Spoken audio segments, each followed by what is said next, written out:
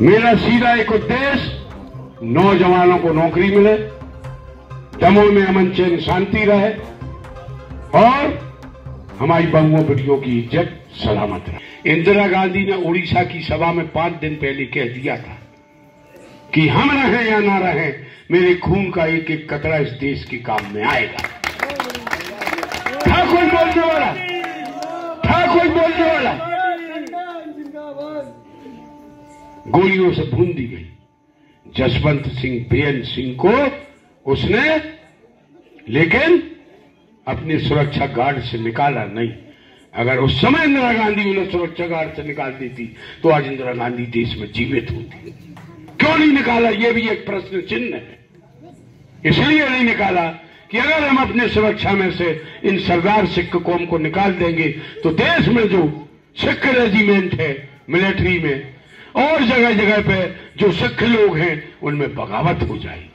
मरना पसंद कर लिया देश की एकता की खातिर इंदिरा गांधी ने। ये हमसे सत्तर साल का इतिहास पूछते हैं कि सत्तर साल का अपना हिसाब दो। राजा महाराजाओं के पृथ्वी पर समाप्त किए।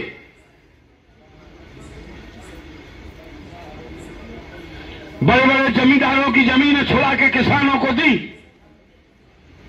बैंकों का राष्ट्रीयकरण किया। उस समय बैंकों का फ़ायदा केवल बड़ी बड़ी सेठियों के यहाँ जाता था। आज बैंक के अंदर कोई भी जा सकता है, ये देन इंदिरा गांधी की थी। देश के लाल बहादुर शास्त्री ने जब जय जवान, जय किसान का नारा दिया, इंदिरा जी ने नारा दिया, हम गरीबी हटाएँगे। जय जवान, जय किसान का जब नारा दिया लाल बहादुर शास्त्री ने इस देश के किसानों ने मेहनत करके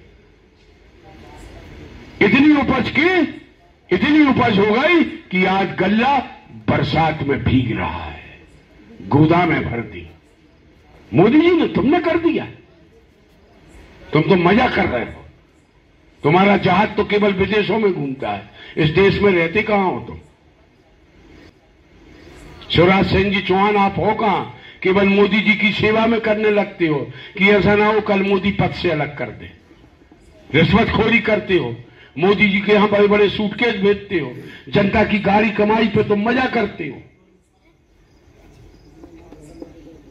देश के प्रधानमंत्री बने राजीव गांधी। युवाओं पर विश्वास किया।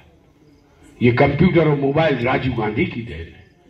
राम मंदिर का ताला खुलवाने वाला राजीव गांधी है। क्या बात करोगे मोदी? तुम हमसे हिसाब पूछोगे? तुम अपना हिसाब दे दो। तुमने केवल मोदी जी एक ही बात की है कि देश के अंदर आपस में एक दूसरे को लड़ाओ। बस, इसके अलावा तुमने इस देश को कुछ नहीं दिया। धर्म के नाम है। संपत्ति बेची। धर्म के नाम पर लड़वा दो। बस, अपन कुर्सी पर बैठ जाओ। आप चिंतन करो, आप अध्ययन करो। और किसी को कोई बात हमारी ना समझ में आ रही हो, हमसे बहस करें। हो सकता हम गलत हों तो आप अपनी बात सिद्ध करो, भारतीय जनता पार्टी के लोग। बहुत सोचना पड़ेगा, बहुत समझना पड़ेगा। आपको याद है? आपको याद है? मोदी के खिलाफ राजा पटेरिया ने एक ही लाइन बोली दो महीना जेल में बंद रहो, पवई में। कोई बोल ही नहीं सकता। बोलोगे सो आप जेल में जाओगे। कर दो अजय टंडन को बंद। कर दो तुम में दम हो तो करो बंद।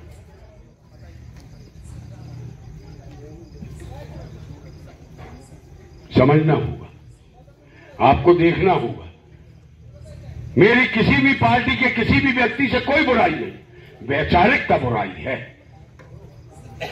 हमारी आपकी पार्टी से मन नहीं मेल खाता। हमें नहीं रहना आपकी पार्टी। में आप हमसे खूब दोस्ती करेगा।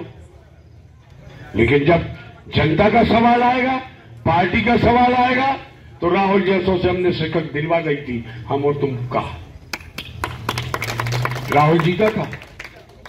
उसको कोई नहीं जानता था।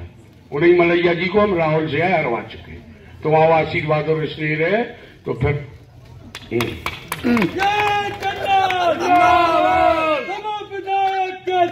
बोलो मुझे मुझे किसी की बुराई नहीं करना। मेरा सीधा एक उद्देश्य नौजवानों को नौकरी मिले दमों में अमन चैन शांति रहे और हमारी बहुओं बेटियों की इज़्ज़त सलामत रहे। आप हमें आप हमें आप, हमें पूरे एक मिनट। आप हमें पूरे शहर की दौलत दे दो। हमें मज़ा नहीं आएगा। हमें मज़ा आएगा गरीबों की सेवा करने सुकून